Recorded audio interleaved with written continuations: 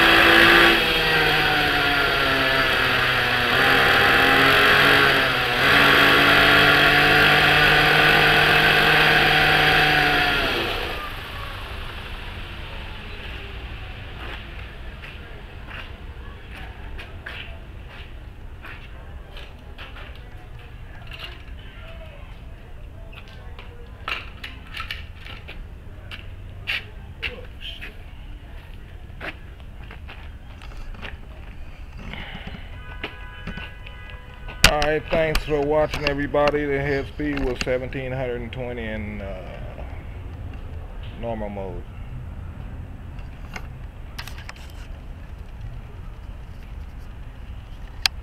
Now we're ready for the field by this weekend.